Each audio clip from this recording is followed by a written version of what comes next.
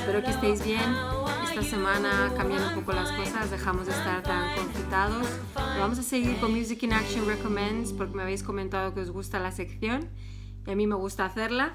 Así que vamos a seguir todos los lunes y bueno, podéis seguir haciendo estas actividades que os propongo aunque salgáis a la calle o hagáis distintas actividades.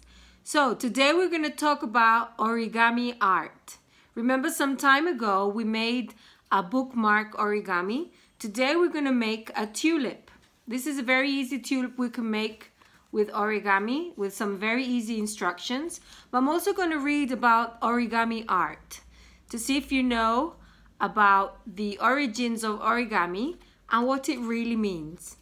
Origami is the Japanese art of folding square pieces of paper to make different shaped objects such as birds, flowers, and fish. In fact, the word origami means to fold paper in Japanese. Origami is a very old tradition enjoyed by both young and old. Surprisingly, no glue nor scissors are needed. Once completed, the finished product is often a beautifully decorative creation. So this is a bit of the history of origami and where it came from and why it's called like this. So I'm going to show you how to make a very easy craft, a tulip, with just some very easy instructions. As you see, I have a square piece of paper. It's completely square. Okay, the first thing we have to do is fold the paper in half like this in another triangle and then a smaller triangle. The next thing we're going to do is fold from the different edges.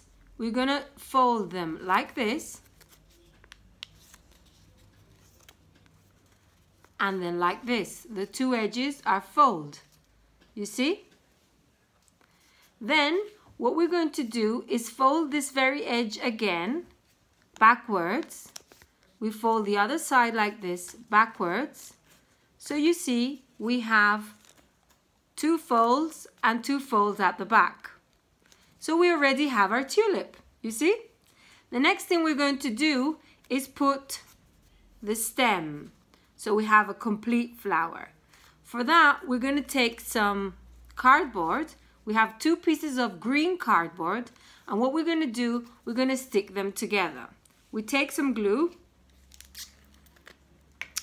we put some glue on it. As you see, this is the glue, this is this. And the next thing we have to do is put our flower in between so that it, it stays stuck. I'm to put some of the glue here and we put it where we think it will stay at the beginning. You have some extra glue, you can just put it on top. You do like this and you have your tulip. So this was our tulip making origami. Thank you for watching. I'll see you next week. Bye.